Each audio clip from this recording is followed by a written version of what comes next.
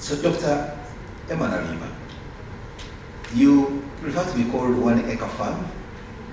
It in Entebbe.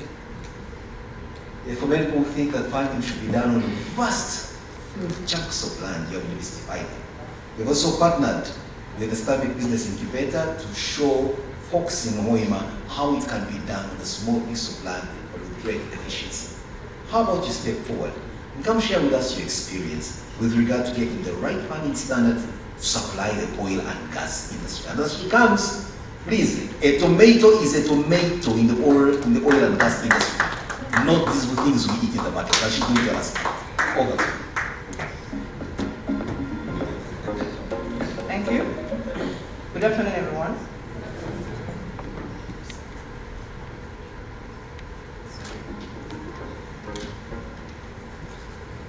It's very difficult to talk to people after lunch.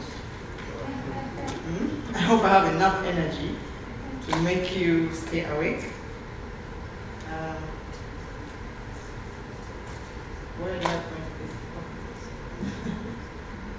yeah, uh, we are getting the right, uh, getting the right farming standards to supply the oil and gas sector. Um, now, my work has actually been made very simple today. Because actually since yesterday, we've been talking about so many things. And then um, the previous presenters have been telling us we have to be certified, we have to be doing this, we have to be doing, even Atacama has just told us the same thing.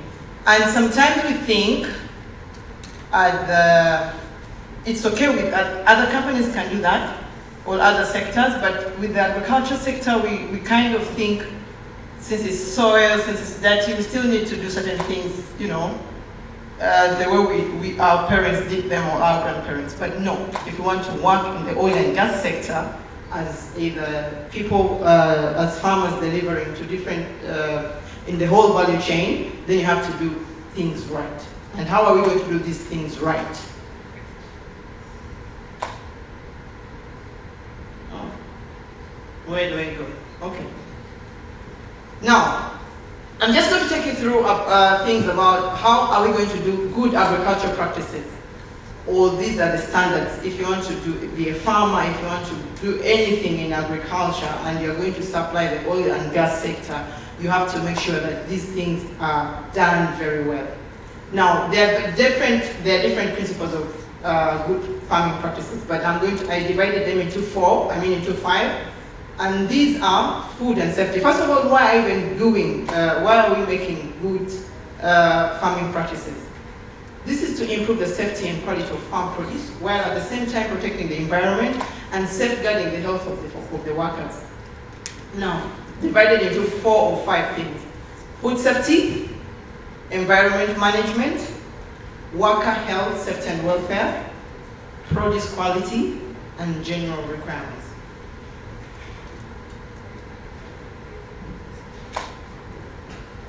So there are many different agriculture practices, but um, of course when you think about agriculture, when you think about farming, especially, the challenge we have is that in farming, when we talk about farming or agriculture, all we think about is crops, right? We rarely think about the, the, the, the livestock. So, but, uh, so when, how do we start? We start by preparing the soil. We start by preparing the soil and then you sow. After you sow, you irrigate. After you irrigated, you're going to either harvest. And then you as a farmer, you're going to stop there maybe. And then another person takes it on. But this other person going to take on this is also having, you have to do all the things right, okay? I did two different things like you see. Uh, you prepare the soil, you, you sow, and uh, as you're doing that, you're also thinking about the environment. You're thinking about how you're doing this. You're protecting yourself, you're protecting the crops, you're protecting the, the, the, the workers, you're protecting the environment, and then you're harvesting and then storage at the same time. So many times as farmers, after you've planted everything, you stop there. And even we don't think so much about the storage, we don't think so much about so many other things. But this is what we're going to do. Now, I ended up having to put, of course I'm a vet, so, and I said we normally leave out livestock, and I wanted us to also think about the livestock because those, these different things also work together. Crops and livestock. When, when uh, I think it was uh, the presenter from Petroleum Authority. She showed us all these things we have to supply. She showed us how many, actually, uh, uh Ivan, my, the person I'm sitting next to was like, hmm, doctor, so many chickens, I mean, 10,000 eggs. Then he went ahead and calculated and he thought he, for him to supply, he needed 2,000, no, 28,000 chickens, birds, layers. So you have to also think about this as well. In livestock, of course, you have to think about either the forage, the concentrate, and then how the manure or how the dung is dispensed, how the soil is also uh, treated to feed the animal, the, to grow feed for animals, and also the crops as well. So crop rotation. Don't mind about the chemical, uh, that was chemistry, so don't mind about, don't mind so much about the, the the structures there, but it's about knowing what to do when, okay? Um, now, first, food safety. When we think about food safety, what are we thinking about? We are thinking about like this site history and management. Imagine you're a farmer, you're going to start farming. Or you have this big chunk of land, very good. But then you have to know, how is this land, what is, is it contaminated in the first place? Is it, uh, I remember um, um, I think in history, this place, is it in Japan, where they, they threw a lot of bombs? Which places that even right now, they tell us even right now when you go there, you have malformations. Huh? Historians, Nagasaki Hiroshima. Yeah, I think it was in geography or history, I don't remember. no, I didn't do this. Okay. So anyway, so the site, what is in this site? How is the soil, okay? Because remember, you're going to start growing maybe tomatoes, but you need to know the soil. What kind of soil is it anyway? Is it good for the crops to grow? Hmm? And the planting material. What kind of planting materials are you looking at? The planting material, I'll give you an example. We were in um, Hoima, like uh, Simon has said. So we are helping people in Hoima, and then when we get there, they are told that, oh my dear, so the, the, supplier wants maybe a certain type of tomatoes, and then they buy these tomatoes, they buy the seeds, and when they get there, actually, after they've grown the seeds, it's not the type of tomato that they want. It's not the type of crop that they want. But they bought this seed. So the planting material, how is it? Is it actually good in the first place? Or is it already infested? Or is it already like it's, it's not ready to, to be grown? It could be good material, but the storage the way that it was stored. It could have been the right material, but the storage of that planting material also before you plant it matters. Is it expired? Is it, you know, ready to plant? So all those things we have to think about it. Then genetically modified organisms. Of course, I have to say this, this is a contention because depending, uh, uh, we are dealing with international uh, markets and everything. So you have to think, if in Uganda maybe this law was um, uh, uh, maybe passed, and yet where you're going to supply to is not possible. So you have to think of which plant you're growing and which, you know, how is it genetically modified, and also you have to look at the standards or the rules and uh, rules and regulations of that country you're exporting to or that place you're growing your things to. Then fertilizers and soil additives. Again, how are these fertilizers? The quantity, the quality, the dosage, okay? All these but even then, you have to have first tested, tested your soil to find out that, oh, this soil actually needs this kind of fertilizer. The challenge we have is like, oh, I have soil, oh, I need to put fertilizer. And then you don't even know how much fertilizer you're putting in. And you're just putting. But you have to first go ahead and check how much, okay, if it's a crop, if it's a, it's a, if it's a, if it's a tomato again, how was the soil? And then if you tested this soil, how much of the fertilizer are you supposed to take? Okay? and in which quantities, and in which do yeah, quantities, dosages, and in which routes, because some fertilizers are sprayed, some are put in the soil, some are on top, all these things you have to think about. Then, um, traceability, as in where did you buy this fertilizer, or where did you buy this seed? Because in the event that something has happened, you still have a fallback position, you can go back. I've just been, I think I was talking to, oh, he's here. William. And then he tells us he's, I think he's Nwoya and he planted um, soybean. Was it soybean or soda? Sunflower. Oh, sunflower.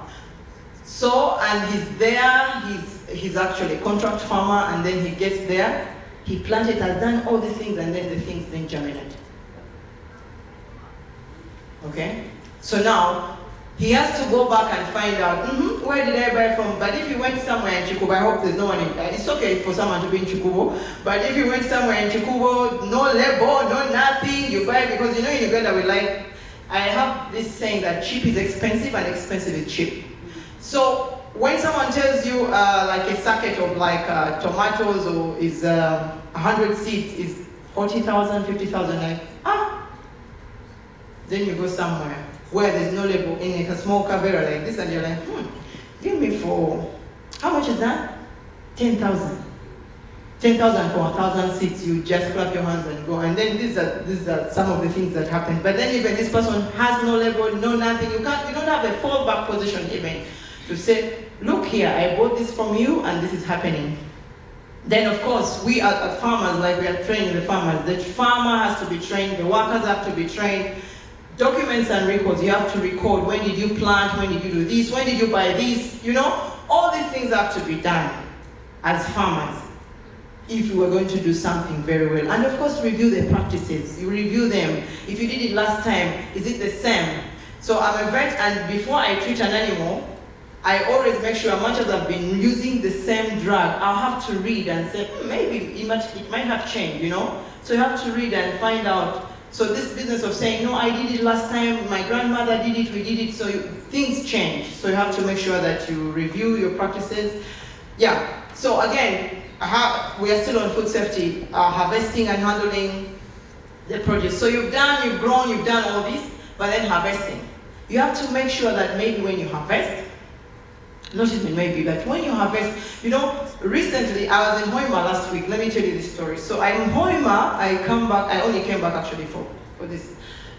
So in Kampala, there are no grasshoppers. So I find them in Hoima, I'm very happy. I'm like, ooh.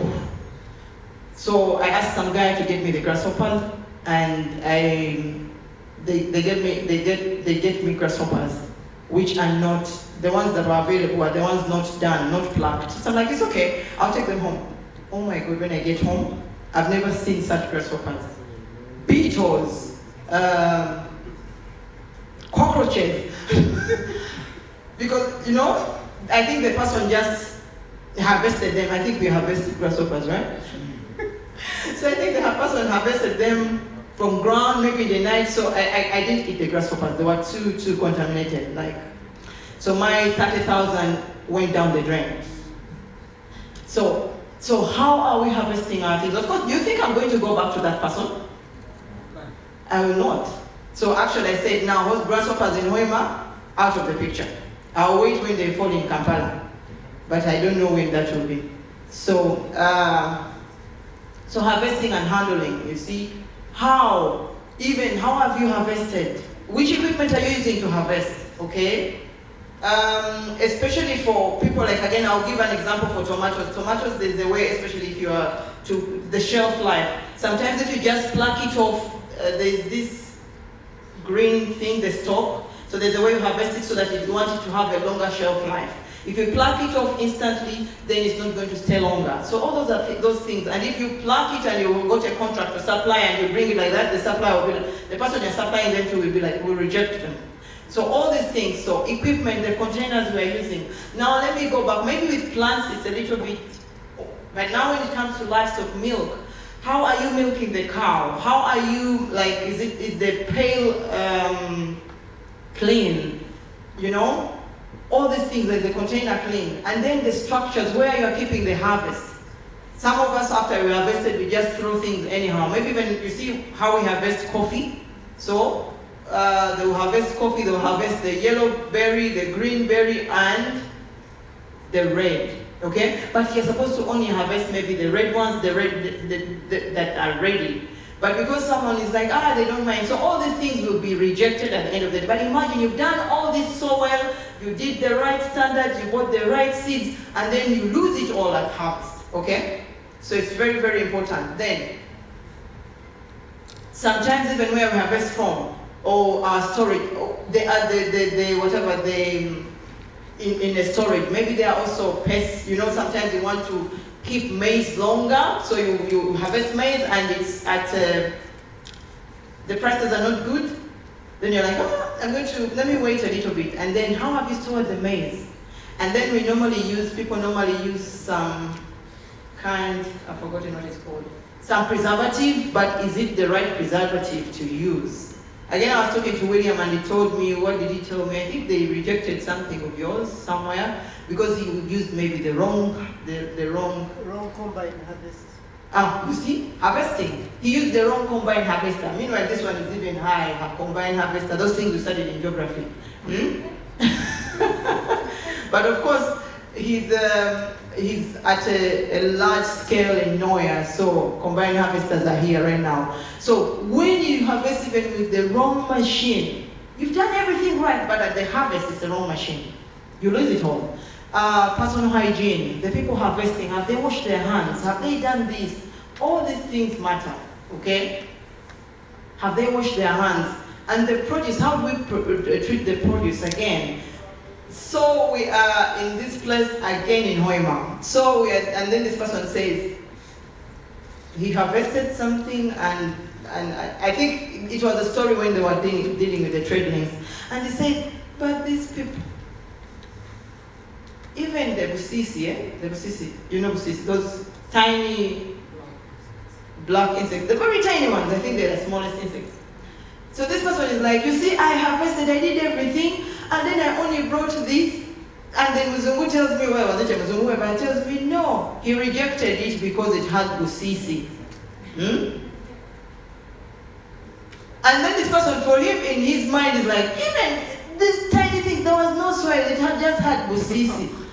But that is rejected already. So, how are you uh, harvesting your produce and treating it? Yes, storage again and transport, okay? So I just put that again, you see, timing, when, what have you harvested, when did you harvest, what time, the temperatures, where are you storing them, all these things, even if you've done everything right at the beginning, the right soil, the what, everything, at the end of harvesting, you can lose everything.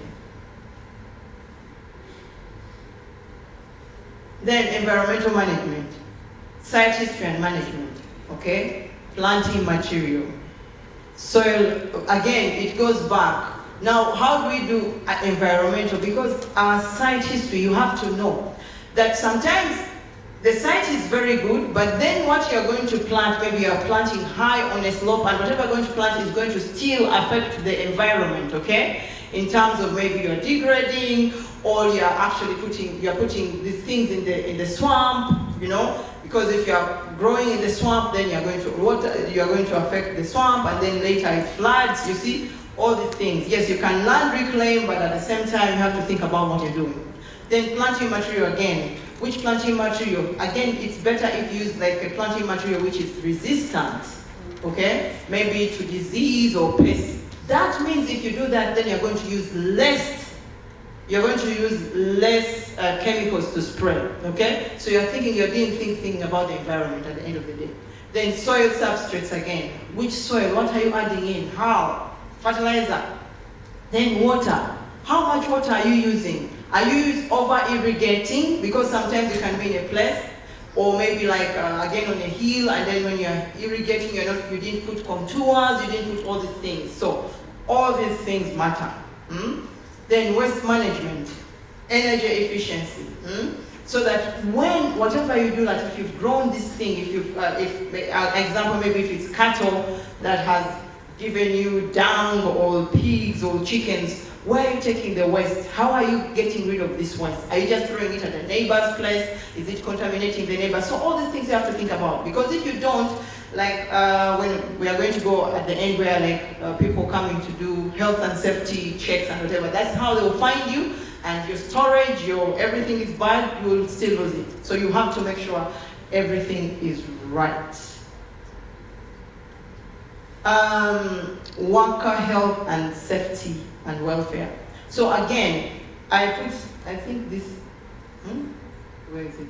It's not moving. Okay.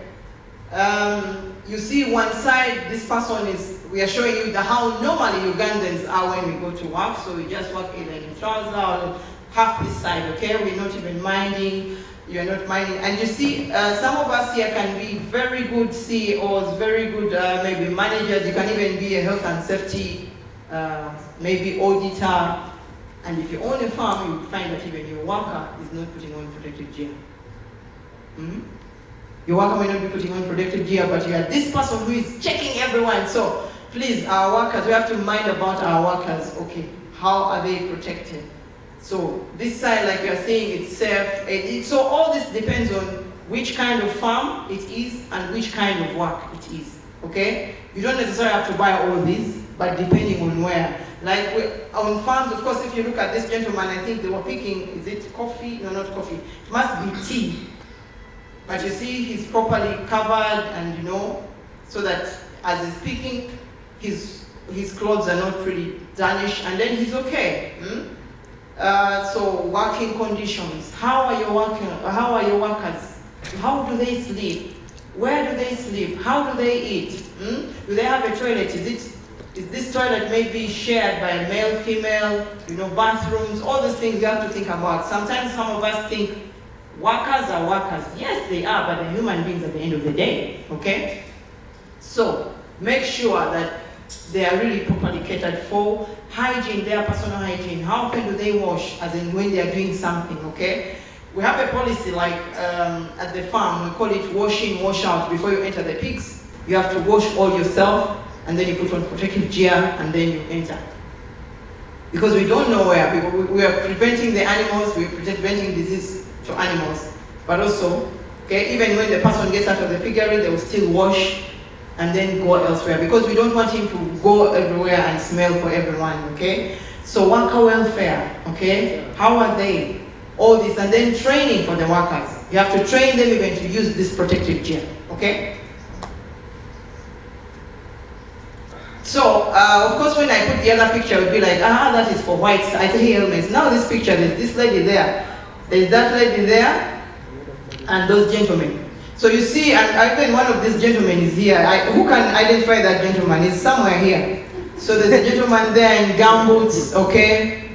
Yeah. Uh, the green overall. yeah, there's a gentleman there in gumboots in a green overall, and then there are also the other side in a green overall. But it's all about showing you that protective gear. And that lady still can comfortably. I, I was I was talking to someone on a table, and the third person says that they watched that lady on TV, and she was so hands-on. She, she's not like the lady she find he finds in boardrooms.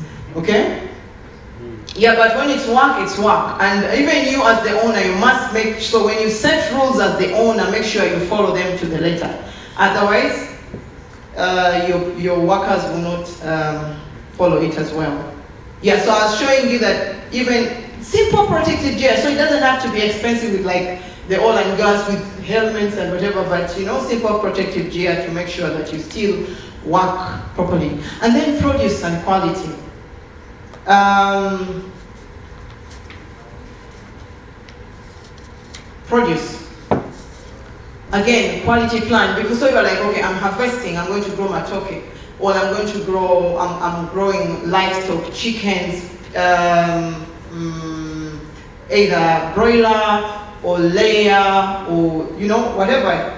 I suggest that this, uh, my, I suggest that my my you put you put me up there so because I need to show this slide I need to show okay yeah that's better yeah I needed to to make sure that you see that okay because normally when we harvest again okay normally when we harvest you're like yes I've harvested but how do we store okay you put pallets on the floor and then so that there's good aeration somewhere. Because at the end of the day you remember when the Kenyans said aflatoxins for maize? I have a feeling, I don't know, this is my this is my thought really. I have a feeling, okay, yeah, no farmer, I know we like money, but in my heart, because when I saw what I saw on TV, I just knew it is storage, and it was storage, I think, in Kenya. I hope there's no in here. I thought it was storage in Kenya, because when they showed the way they had stored everything, like, and I'm like, hmm, I think it came, we did everything right in Uganda, I'm thinking, and then we go to Kenya, the way they were storing everything, the, the, the sacks of meat was just on the floor, the rooms were not aerated, and then we lost business. We lost business, which I don't think we should have lost. So storage is very, very important. Buying silos, doing all this. So if you don't have silos, just get a room as big as this. Should be open, because don't put air conditioning, but should be open. And then you put sleds, uh, there's sleds here, we call them sleds, down or pallets. And, okay, so but then you have to have a plan that I'm planting maize, I'm planting maize. So where am I going to store? I've planted coffee. Where am I going to put when I'm drying? Okay? I've planted all these things. What am I going to do? Okay? Unfortunately, this slide, um, there's a slide missing. I think I, um, there's, there's something I wanted to show you in the newspapers last week on the 16th. There was a newspaper uh, when we talk about quality inputs. And then they had got, um, what are they called? The police had impounded. Did you read that? I think it was on, on Thursday. Police had impounded, Wednesday or Thursday, had impounded people who were giving uh, inputs, okay? Agro inputs, and they were all fake. And some of them actually were imported. So where do they pass? Hmm? So you have to think about that as well. So quality plant, planting material, again, why I'm saying this again, planting material, how good is the quality? Again, fertilizer, these, these things, how are they? Are they of good quality? Because most of them could be expired, most of them, again, it goes back. If they are not of good quality, it impinges on you. The amount of water, what kind of water are you using to wash the produce, especially if it's for vegetables or anything, okay? Um, again, there's long time ago, the UN, I don't know if it's still doing the same, it sets a standard but okay. All right, I'll be done. Uh, it set a standard that when you supply them eggs, they only eat eggs for three days. So they have to be day zero, day one, until day three. You supply eggs which are three days longer. And then, so this Ugandan, you know what this Ugandan did? This Ugandan put the one day, two days on the tray up, uh, and then put the rest down. So this one, oh, these are very nice eggs. Then they also went for the, for the trays down, and they were bad. Because, were, you know, an egg, you can tell the age of the egg. You can tell an age of the egg by just breaking it and knowing. So, this person lost business because they gave the wrong uh, age of the eggs, okay? Then, uh, we've already talked about harvesting and handling. So I was just showing this gentleman in, in, in Matoke, with Matoke. You see, they are preparing because they know they are going to store them well. And then with this one, you actually now go back to even which species when you say planting material. If it's matoke, what does it mean? There are different species of matoke that this type of matoke has a longer shelf life.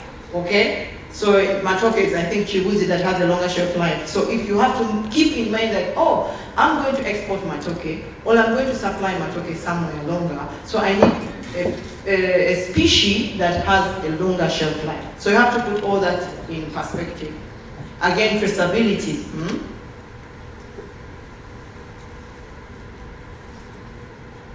I think, okay.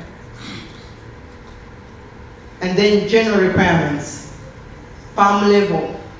So now at farm level, yeah, you have to be legally, uh, you like you see, you are, yes, you are an SME, but then you have to have registered, you have to have registered requirements. I'll give you an example. At my farm, you don't enter actually, if you want to come, you want to see pigs, you don't enter.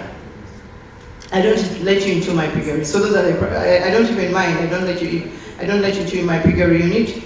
And if you must, you have to have washed, I have to give you protective gear, I have to give you so many things, okay, for you to enter. Because I don't want you to bring disease to me. Then addressing complaints. Because how are you going, you will supply and someone complains to you that, so you have to have systems that are going to say, okay, listen to people's complaints so that you change. Sometimes a bad comment at that time feels bad, but it's something that is going to help you. That means there's something wrong you're doing, okay?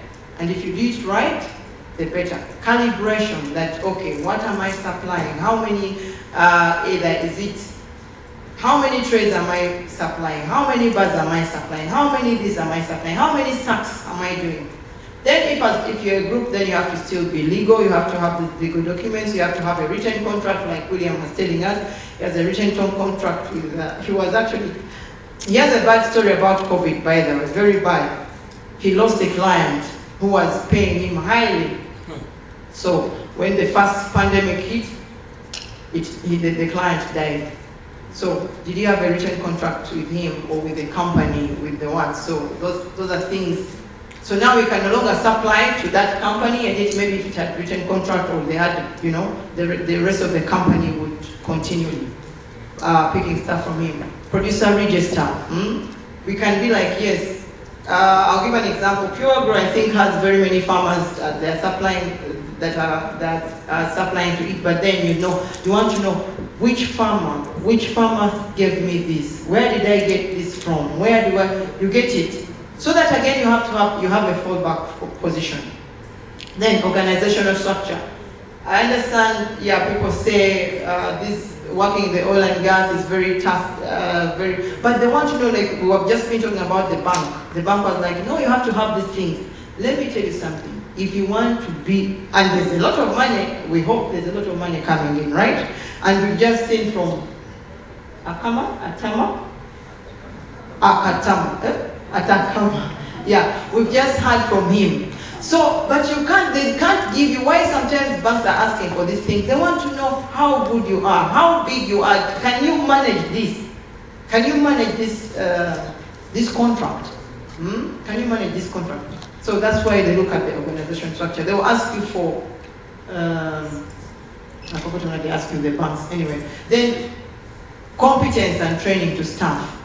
Is your staff competent enough? Is it trained? to even work on the farm or even to deliver so many other things as well. Quality manual, do you have a quality manual. Let me tell you something.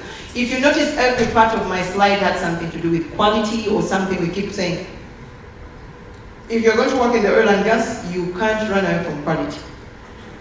That one, you do other things, you do other things, but quality is key. You can't, you can't run away from it, so you have to make sure you work Say document control. You have all these documents, complaint handling, internal audit, non-competent compliance, all these things we draw from certified products. Common pack house, agreements with the buyer. Hmm?